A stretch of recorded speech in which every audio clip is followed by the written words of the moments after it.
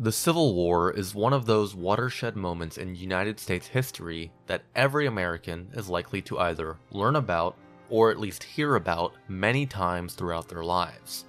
The Confederacy's attempt to break away from the Union in order to preserve the institution of slavery is as ingrained in the American conscience as the Revolutionary War, creating national icons and controversy through this very day.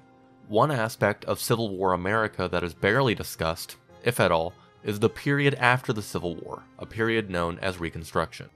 The history of Reconstruction has gone through various phases in its perception by historians and the wider public, as the US itself went through various phases over the last century and a half. One thing that never changed, however, was the understanding that the Reconstruction period that lasted until 1877 was ultimately a failure in its goals. I'll discuss more about those goals and how it failed later but before that, I'm going to give a brief synopsis of America just after the Civil War leading into Reconstruction. There was an attempt by President Andrew Johnson, who had taken over the White House only a month prior after Abraham Lincoln was famously shot and killed, to quickly readmit the Southern rebel states to the Union.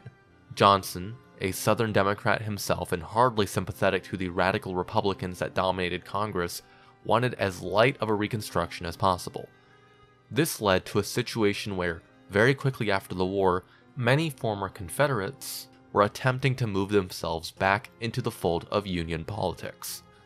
Simultaneously, many of the former Confederate states were enacting so called Black Codes, which had the goal of ensuring subservience of the newly freed enslaved peoples, something that even contemporaries of the time could tell was an attempt to reintroduce slavery without calling it slavery. After the election of 1866, however, the Republican Party found themselves with a supermajority in Congress and thus able to override the veto of Andrew Johnson. Following this, four bills known as the Reconstruction Acts were passed from 1867 to 1868. Though Reconstruction technically began right at the end of the Civil War, and some argue even before the end of the Civil War, this is where Reconstruction as we know it today really began in earnest. The implementation of the Reconstruction Acts was fairly simple. The United States military was stationed in various locations in southern states as the federal government sought to not only integrate these states back into the Union, but also to ensure that the Reconstruction Amendments being passed, that is, the 13th Amendment abolishing chattel slavery, the 14th Amendment granting citizenship and equal rights to all, and the 15th Amendment codifying universal manhood suffrage regardless of race, were being not only recognized by the state governments, but also treated as the law of the land throughout the state's territory. Additionally, after the Reconstruction Acts were passed, many former Confederates were barred from running for office or even voting, and Republican governments were soon established throughout the former Confederacy. During this time, not only were African Americans voting in droves, but active black participation in politics also soared. From 1869 to 1877, just under 20% of all Southern political offices were held by black Americans. This included two U.S. Senators, Hiram Rhodes Revels and Blanche Bruce, both from Mississippi. Just for reference, the next African American to represent a Southern state in the U.S. Senate would be Tim Scott, who was appointed to fill a vacancy in 2013, nearly a century and a half later. Unfortunately, that is the lasting legacy of Reconstruction a brief glimpse into a brighter future of racial equality in America that was ultimately snuffed out. Now, while Reconstruction technically ended with the Compromise of 1877, which saw Rutherford B. Hayes taking the US presidency in return for ending Reconstruction, the truth about Reconstruction's end is much more complicated. For many decades, a myth permeated much of American society that Reconstruction failed because of corrupt scalawags and carpetbaggers. That is, white Southerners who supported Reconstruction and white Northerners who traveled south to support Reconstruction. As well as this notion that African Americans that voted and ran for office were unfit for those duties, leading to inept governments. This is far from the historical consensus now, as those ideas are the result of decades of white supremacist propaganda. The real reasons for Reconstruction's failure, while complicated, can be largely simplified down to a few main things. First of all, most white Southerners were incredibly resentful of the military occupation and any attempt to enforce racial equality and integration after generations of the exact opposite being the status quo. Despite there being increasing class tension between poor planters and plantation owners, especially at the end of and directly after the Civil War, the mutual disdain for anything resembling racial equality transcended those class divides. Second, the efforts of Andrew Johnson specifically and Southern sympathizers generally to hamstring Reconstruction efforts wherever possible. Though, with Johnson specifically, as I mentioned, the Republicans had a supermajority, so it may not have had a majorly negative effect on a lot of legislation. On the other hand, however, having a president who would have been sympathetic or even outright supportive of Reconstruction efforts from the beginning may have been a great asset. Finally, and this is the most significant factor, but the reign of terror perpetuated by white supremacists in the South. Though the US military was stationed throughout the southern states, they hardly had the numbers to mount a proper counterinsurgency campaign against the white supremacists that roamed throughout their respective states, using terror tactics to intimidate both black citizens but also their white supporters into passivity. Modern estimates suggest that there would have needed to be up to 180,000 federal troops in the South, with low estimates being around 20,000 consistently for the duration of Reconstruction. In reality, though, the number never even reached 20,000 in the beginning of Reconstruction, and would only decline over the next decade until all troops were pulled out in 1877. The US military did not have the numbers to stop these terroristic acts, and although exact numbers are hard to pinpoint, many thousands, if not tens of thousands, of African Americans were murdered throughout the South, with some estimating these numbers well surpassed the total number of lynchings that occurred after the end of Reconstruction. And all of this only within the period of about one decade. Ultimately, the failure of the US government to protect its citizens led to a feeling that this was all for naught so public support for the occupation of the South dropped year by year. Now, when we talk about the success of Reconstruction, what does that really mean? At the time, for some, it simply meant abolishing slavery, readmitting the southern states, healing the Union, and then moving on.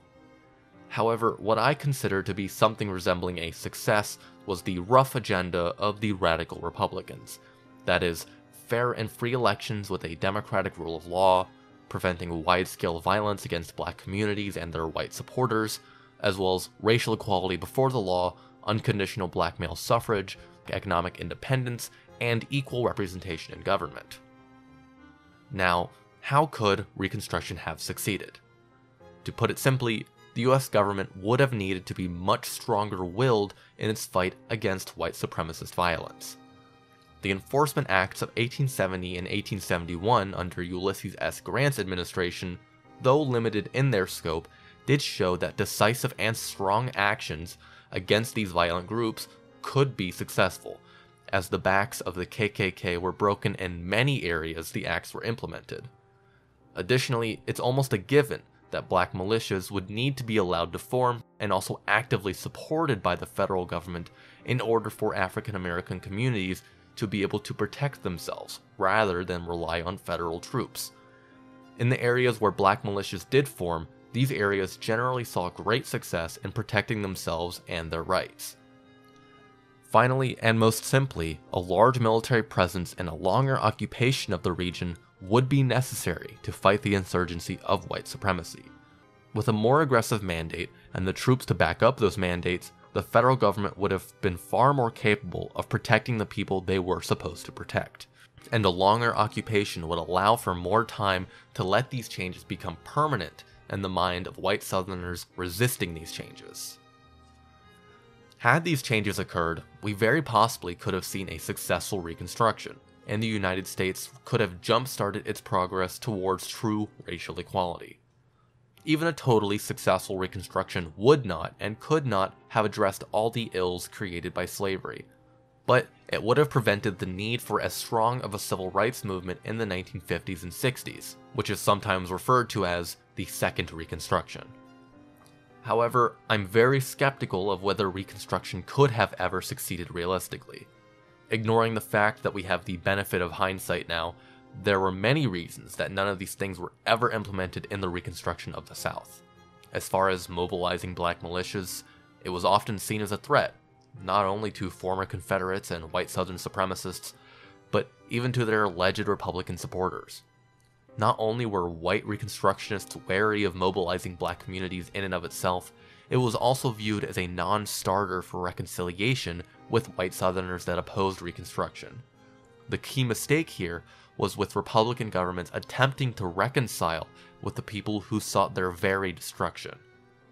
By choosing to try and keep the peace more often than not, they weakened their own situation and threatened the lives of vulnerable citizens across the South. And as far as the US sending more troops to the South and lengthening their occupation, this was unlikely for a variety of reasons. First, there was simply a general distrust among all Americans about an overly ascendant federal government with that level of military power and oversight, especially compared to today's standards. Even radical Republicans hardly considered expanding the military in order to achieve their goals of a successful Reconstruction. Additionally, as US settlers continued to move west, troops were becoming increasingly necessary for the federal government to force native tribes off their lands. Finally, and most simply, the United States experienced a massive economic downturn with the crash of 1873. A downturn so large it was known as the Great Depression for several decades until, well, you know. This downturn not only had large effects on the US economy, but also saw the Republicans lose their majority in both congressional houses in 1874. At a structural level, the federal government was unable to create state governments that were seen as legitimate by a majority of the white Southerners. This seems obvious in retrospect, as the only legitimate government for many of them would be a government that sought to create a strict racial caste system, which was directly at odds with the point of Reconstruction. Finally, even some of the most progressive people by the time standards were still racist to varying degrees there was a general distrust in African Americans to be capable politicians and voters. And so many of these progressives were often very paternalistic and condescending in their outlook of how to have a successful Reconstruction. The story of Reconstruction can be summed up as the story of a failed occupation to try and bring something resembling freedom to a land. It's not entirely dissimilar to the American occupations of Iraq, Afghanistan, and Vietnam. Although there are obvious differences, such as those nations having very different cultures from the US's, whereas the southern and northern US in the mid to late 1800s was still comparatively fairly similar, and the clearest difference being that the US had far less legitimate reasons to be in those other countries. On the other hand, there are some similarities in how the situations played out, with the most striking one being the inability for the United States to learn its lesson on how to capably lead a counterinsurgency before the situation spirals out of control. To this day, the specter of Reconstruction's failure can still be seen. Even though American society is far more racially equitable than it was in 1865, there still remain many unsolved problems of racial inequality, from the economic to the judicial that stem from Reconstruction's failure. Thank you very much for watching. Leave a like if you enjoyed my video and subscribe to my channel with notifications turned on to see more of my content. Leave a comment with your thoughts on this video or topics for the future, and if you're interested, I've also made plenty of other videos, so go check those out too. This has been Historical Hindsight, and I'll be seeing you soon.